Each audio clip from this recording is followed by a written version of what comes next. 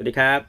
วันนี้นะครับก็ติดตามผลการเรียนนะครับลูกศิษย์คนนี้นะครับเป็นหนุ่มหน้ามนคนกระบี่นะฮะเขาก็นั่งดูนะครับนั่งเรียนออนไลน์ทั้งวันเลยนะฮะผลออกมาก็อย่างที่เห็นนะครับเขาเปิดรถอีสุนะครับตัวใหม่เนาะซึ่งถือว่าเปิดยากนิดนึงนะครับ แล้วเขาก็ลงมือทำจริง ๆนะครับ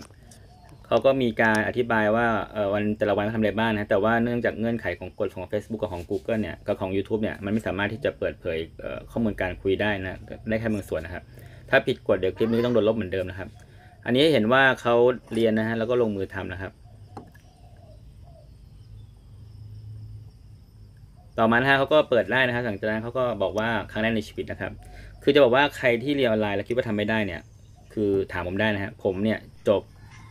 กศนมสามนะครับ